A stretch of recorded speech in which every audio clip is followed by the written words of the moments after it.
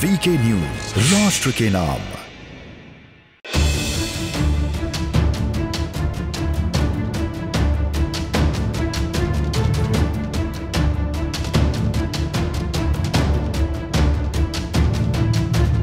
नमस्कार, मैं अमर राव आपका स्वागत है वीके न्यूज़ पे। भारत और पाकिस्तान के बीच जब भी कभी आईसीसी टूर्नामेंट में मैच खेला जाता है तो रोमांच चरम पर होता है। इस मैच में दोनों ही टीमों के खिलाड़ियों पर दबाव रहता है। आईसीसी टी ट्वेंटी विश्व कप में भारत टीम पर पाकिस्तान ने पहली बार जीत हासिल करने में कामयाबी पाई। इस मैच में युवा तेज गेंदबाज शाहिन शाह अफरीदी को इकतीस रन देकर तीन विकेट लेने पर प्लेयर ऑफ़ द मैच चुना गया था। अब इन सबके बाद एक ऐसा खुलासा हुआ है, जिसके बाद पूरे क्रिकेट पर सवाल उठ सकता है। सवाल इसलिए क्योंकि क्रिकेटर ने एक ऐसा खुलासा कर दिया, जिसके बाद लोग सवाल उठा रहे हैं कि अब भारत और पाकिस्तान का मैच फिक्स था। जी हाँ एक वीडियो कॉल सामने आई जिसके बाद लोग तरह तरह की अटकलें लगा रहे हैं। कई लोग कह रहे हैं कि इस मैच को फिक्स किया गया था ताकि जो भारत में राजनीति चल रही है उसको लेकर कहीं ना कहीं मोदी सरकार और योगी सरकार को फ़ायदा हो। तो कई लोग ये भी कह रहे हैं कि इसको जानबूझकर पूरा प्रोटोकॉल बनाया गया था कि इस तरीके के मैच कराओ, तभी यहाँ पर जो राजनीति है वो चरम पर जाएगी। वहीं पूर्व पाकिस्तानी कप्तान शाहीन शाह अफरीदी ने इस बात का खुलासा किया है कि मैच से पहले शाहीन दबाव में थे। भारत के खिलाफ टी ट्वेंटी विश्व कप मैच से पहले उन्होंने मुझे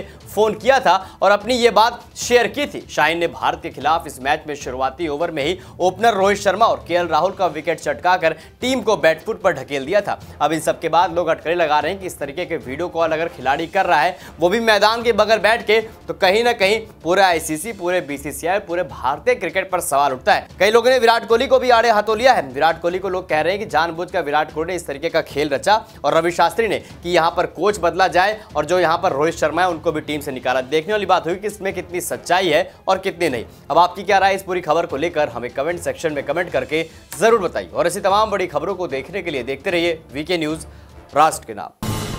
ये है ड्रीम मीडिया नेटवर्क और आप देख रहे हैं देश का पहला 24 बाय 7 डिजिटल न्यूज़ चैनल।